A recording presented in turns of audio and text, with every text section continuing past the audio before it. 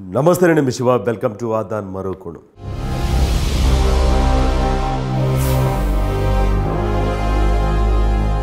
జగన్మోహన్ రెడ్డి గారి ప్రభుత్వం OTS two పేరుతో మరొక బాధుడికి సిద్ధమవుతా ఉందా? ఈసారి కార్పొరేషన్లకు సంబంధించిన రుణాలపైన పడబోతా ఉందా అంటే అవుననే సమాధానమే వస్తుంది. ఇప్పటికే ఓటీఎస్ పేరుతో వన్ టైం సెటిల్మెంట్ ఆ ప- దానికి ఒక పేరు పెట్టి జగనన్న శాశ్వత గృహ హక్కు అని ఒక పథకాన్ని తీసుకొచ్చి ఆ పథకానికి ఒక జగన్మోహన్ రెడ్డి గారి పేరు పెట్టి ఎప్పుడో ముప్పై ఏళ్ళ క్రితం పాతికేళ్ళ క్రితం కట్టిన ఇళ్ళ నుంచి పదివేలు ఇరవై వేలు ముప్పై వేలు ముక్కుపిండి ఎలా వసూలు చేస్తున్నారో మనం చూస్తూనే ఉన్నాం.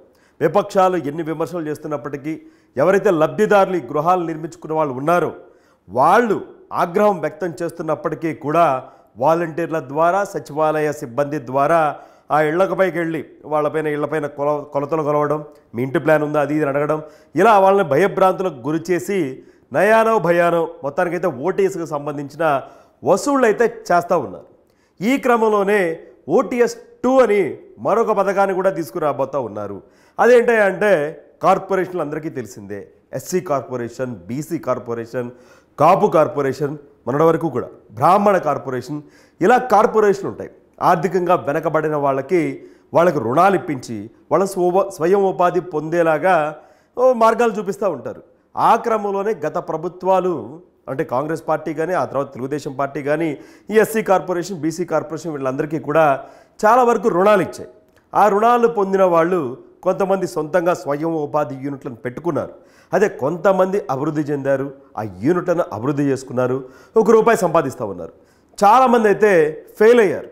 వాళ్ళు ఏదైతే స్వయం ఉపాధి కోసం పెట్టిన యూనిట్లు నష్టాల బాట పట్టడంతో వాటిని మూసివేయడం కూడా జరిగింది.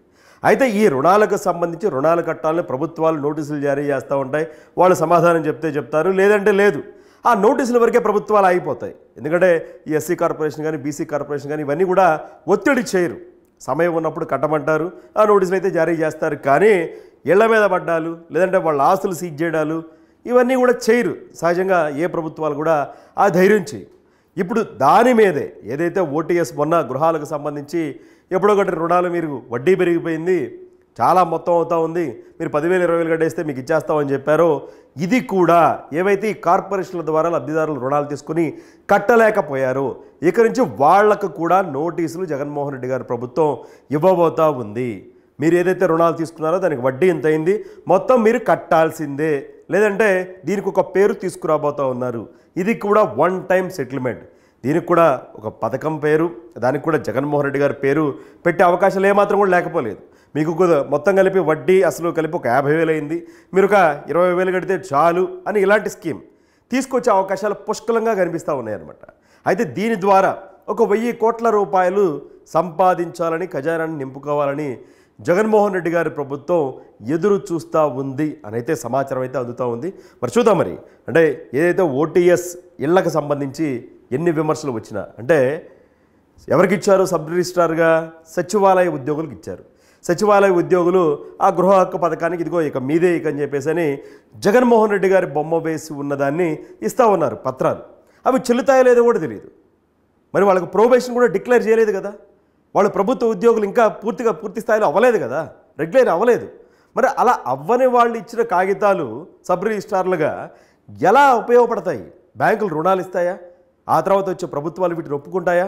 ఈ ధ్రువపత్రాల్ని ఇదంతా కూడా క్లారిటీ లేదు. కట్టండి కట్టండి కట్టండి అని ఒత్తిడి చేస్తూ ఉన్నారు. మరి ఈ కార్పొరేషన్ రుణాలకు సంబంధించి వీటి మీద కూడా పడ్డారు. మరి వీళ్ళని ఏ విధంగా వేధిస్తారో ఏం చేస్తారో అయితే వెచ్చి చూడాలి మరి. ఈ వీడియో పైన ఏదైతే ఓటీఎస్ టూ అని కార్పొరేషన్ రుణాలపైన పడబోతున్నారు జగన్మోహన్ రెడ్డి గారి ప్రభుత్వం అని వస్తున్న వార్తలపైన మీ అభిప్రాయాన్ని కూడా కమెంట్ రూపంలో తెలియచేయండి. అలాగే ఆదాన్ మరోకోణం మరిన్ని అప్డేట్స్ కోసం ఆదాన్ మరోకోణం టెలిగ్రామ్ గ్రూప్ని క్రియేట్ చేయడం జరిగింది. వీడియో కింద డిస్క్రిప్షన్లో లింక్ ఇవ్వడం జరుగుతుంది. ఆ లింక్ ద్వారా మీరు ఆ గ్రూప్లో జాయిన్ కావచ్చు.